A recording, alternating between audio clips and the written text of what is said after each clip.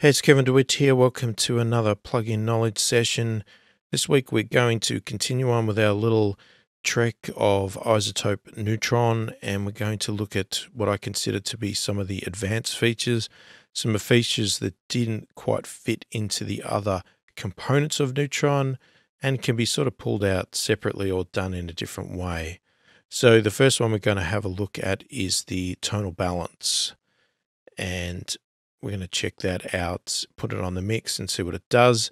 So the whole purpose of the tonal balance here is to be able to sort of get a visual representation of the frequency balance of your mix and does it fit or compare to other styles of music which you know they have some default presets and you can create your own so it gives you a sort of indication of whether your mix is in the ballpark frequency wise uh, obviously it's a guide uh, you need to still use your ears to make your own call on that. So, you know, um, but gives you a starting point, gives you an indication of whether there's any major problems you're not hearing because your room or your ears just aren't great or whatever it is. So let's go and check it out and see what we think. Okay, so let's go over the basics here. We have a few controls at the top. Obviously, we've got a help function here. We've got a settings control. So we can just adjust a couple of little settings here, nothing major. We've got a broad and a fine. We've got a target control and we can create customized targets if we like. And then we've got our main view here. So at the moment we're in broad mode. And what we're showing is we it's broken up into frequency sections. So here's sort of our low end, our low mids, our high mids, and our highs. And based on this target, it changes these values here. So if we said a modern song, this is where they believe is the the expected or generally recommended range that your your frequencies should be sitting in at that level. Okay, so you will see when we play, there'll be a white line and it will sit, hopefully, within each of these bands. But you'll see, depending on your song, that may not necessarily be appropriate. And then we have this crest factor here, which is just on the low end. So it's basically telling you the dynamic range of your low end. And if it goes this way to the left, they indicate that your your song has is its low end is too dynamic and could be controlled and compressed more. And if it's the other way, then it's too compressed and you've got very little dynamic there. So obviously the ideal spot is somewhere in the middle here. Uh, but again, it is a guide. So keep that in mind because it all depends on this target and what you're looking at. Now, you can also switch over to fine mode and you'll see that this becomes then a waveform and it'll show you a lot more detail of the actual frequencies and that's the range that you should be in. So let's just turn the volume down and let's play a song and let's have a look at what it looks like.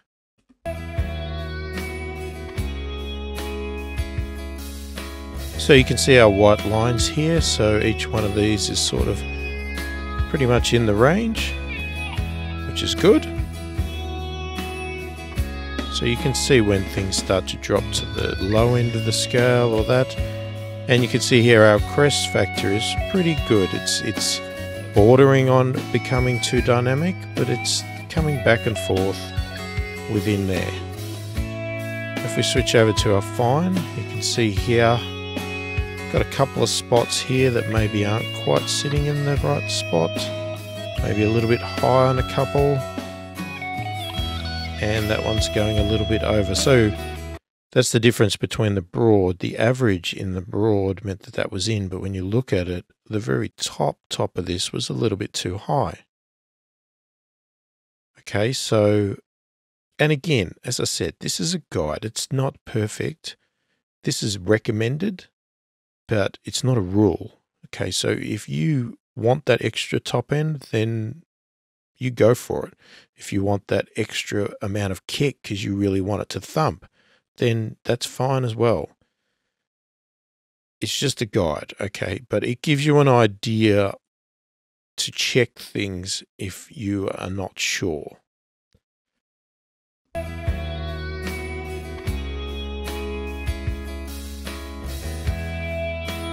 Okay, so now if we switch between them, you'll see here the change in that. So if we were to pretend this was orchestral, then we're pretty much missing the mark on the top and the on the high and the low mid there. And we're borderline on the other two. As we move over to a bass heavy, we're pretty much in there right on track here.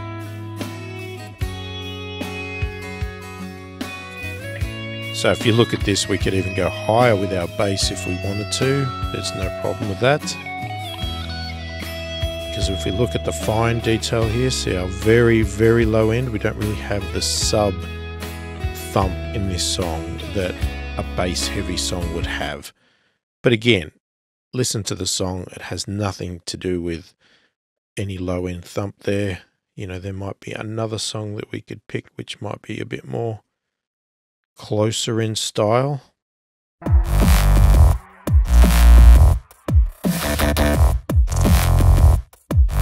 our low end now is a bit more in the ballpark, but we've got a whole totally different dynamic now.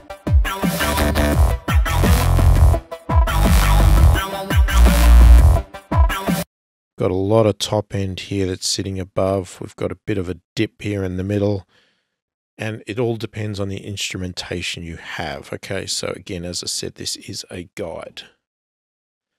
So that's how you would use it just in its basic function. Just check your tonal balance across your song with it sitting on the mix bus. Okay, so with our targets here, we obviously come with three basic settings here, but we can actually load our own and create our own custom ones here. So if we wanted to customize this, let's go back to our broad here. So we can compare this to anything we like. So we can have our own reference tracks and audio files. We can compare it to one audio file if we want to check it against a particular song, but we can also do it against folders of audio files. So you might have your reference tracks stored somewhere. So, in, for instance, here, references, and you might have them sorted in genres or an artist or something like that. So, let's say, for instance, I want to do alternative.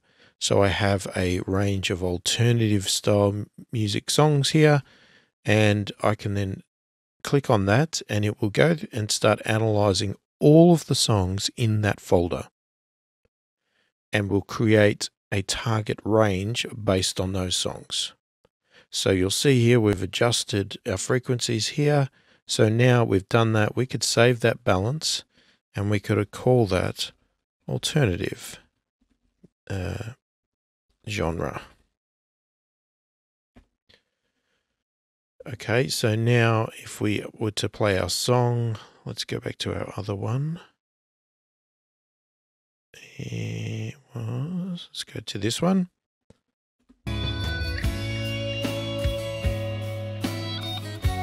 Okay, so this is what they're estimating with the alternative genre that I loaded based on the songs, obviously. So we're pretty much in the ballpark here. Obviously, the highs on the alternative here is indicating that it's a lot lower. And you'll see here we're right on the top edge of that. So we could have made this song a bit duller to a better match this alternative here. But everything else is sort of sitting in the ballpark there, which is pretty good. So we could do that for lots of different uh, files or folders. So we could keep going through all of our list of references here. Uh, we've got say a ballad section here, so we could do that. Get it to analyze.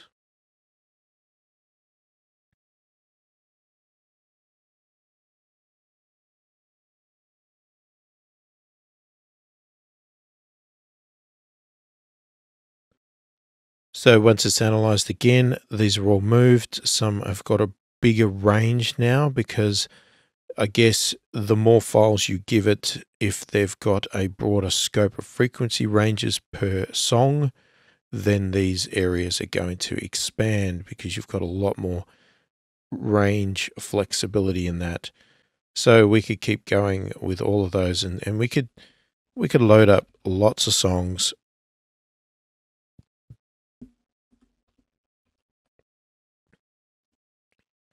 to give our comparisons here based on all of our genres of style of music so that when we are doing a mix, we can quickly pull this up, pick the right genre that matches, and we're good to go. As I said, if you want to compare it to one individual song, because let's say you've got an artist that says, Can you do a mix for me? And this is a song I've got, it's in this style. I want it to sound like whoever, um, you know, I want it to sound like Bruno Mars, right? And this song. You could load that up so that you could compare your frequency balance to that actual song, which can be very handy to do. So we can change the target of where the files are stored. We can show the folder. And as I said, we can load them and save them. So that's a very nice feature. Now, the other thing you can do here is you can see this control down here, select a plugin. So when we look at this, we can select other plugins. And when I'm talking about other plugins, I'm talking about this control works with Ozone 8 and works with Neutron 2. So if we go, we've got, see, we've got our mix bus here, and I actually loaded a version of Neutron 2 on there. So if we go to select plugin, you'll see here it says full mix bus, which is where that plugin's loaded. So we could click on that. And now what you see is we have some options to control that plugin. So we are actually remotely controlling the Neutron plugin over here. So if I could open that at the same time with our tonal control, you could see here, as we're looking at our meter, we could start to make some changes. So we could turn that on so you can see it's moving over here in this plugin. And that functions for both Neutron 2 and Ozone, but you don't have to have it on this channel. So we could actually go to our song channel here or a drum channel, and we could actually load something. So let's say we load Ozone, just the full version, and I'll put that on there. Okay, and now if we go to here, you'll see that we've got listed Ozone 1.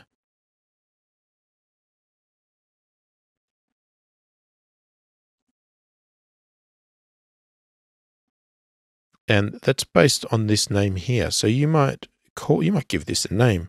Let's say it's song 11 ozone. Because what you might want to do is you might also want to load neutron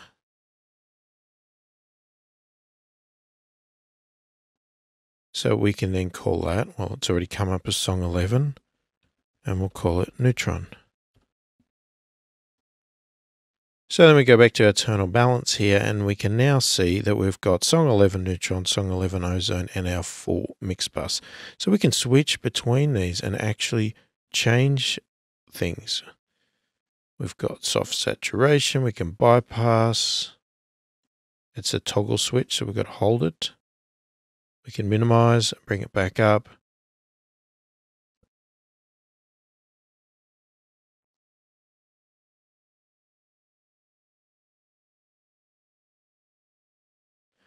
So you can see you get different settings here all together. But what if we loaded individual components? So let's say instead of loading the full neutron,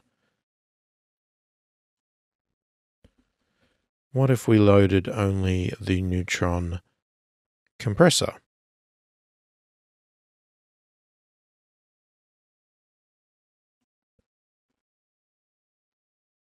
Okay, so now when we go across here, we see the compressor and there's limited controls that you can do. You can see here, there's no controls that appear here. But if I was to play this song, we get to see the waveform that is appearing over here.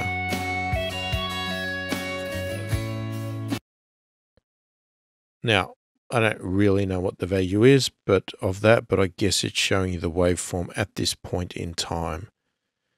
So that's with that one there. But you could see when I had it in equalizer mode, or if I switch over to ozone, we can actually make some adjustments to the EQ. We just can't control lots of other things. It's limited to what it control, which, you know, it's pretty much expected because where it's handy is, is that it would be handy to be able to make some slight EQ adjustments while you're looking at the signal going through this panel here, but you're probably not going to go and start playing with compressors and all that sort of stuff while you're looking at that. So that's tonal balance. So I think that's a great feature and it's uh, definitely quite useful. All right, so that's the iZotope tonal balance. Check it out. Uh, have a play with that if you've got Neutron. Obviously, if you haven't got Neutron, see if you can try it out and have a play with it to go with it. But uh, very handy, very good for checking your mix and referencing it. So I uh, I like it. I don't think there's anything wrong with it, and I would definitely be putting it on the mix bus if you've got it, and you can even use it for mastering as well to uh, to just do another check of your. You can use it to just do another check of the balance of your song during mastering if you like. So go and check it out. Hopefully, it's been helpful. Thank you for watching, and I'll catch you in the next one.